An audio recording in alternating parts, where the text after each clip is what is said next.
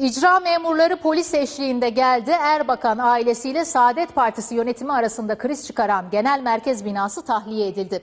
Partiye ait eşyalarla birlikte merhum Erbakan'ın fotoğrafı da kamyona yüklenip taşınanlar arasındaydı.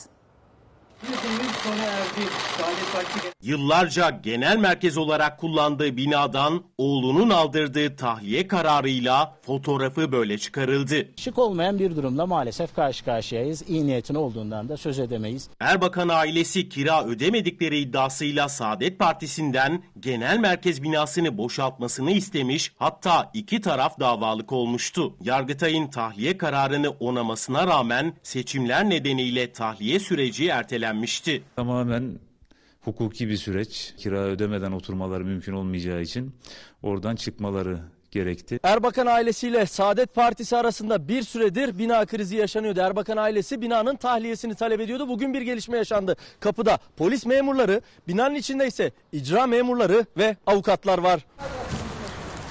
Ancak görüşmelerden sonuç çıkmayınca tahliye işlemi başladı. Dosyalar, koltuklar tek tek dışarı taşındı. Taşınma sırasında en çok dikkat çekense Necmettin Erbakan'ın fotoğrafının çıkarıldığı o andı. 2001 yılından beri Saadet Partisi bu binayı genel merkez olarak kullanıyor ve 18 yıl aradan sonra bir devir kapanıyor. Saadet Partisi genel merkezi bugün tahliye ediliyor. Partimizi taşıyacağımızı ifade ettim. Partimize bir e, icra işlemi gerçekleşti. 1 Nisan 2019 tarihinde binayı boşaltmayı taahhüt eden Saadet yetkilileri bizi şaşırtmadılar. Tahliye işlemi birkaç gün sürecek ve en sonunda parti tabelası binadan indirilecek. Saadet Partisi'nin yeni genel merkez binasına taşınmasından sonra babasından miras binanın Fatih Erbakan'ın kurduğu yeniden Refah Partisi'nin genel merkezi olması bekleniyor.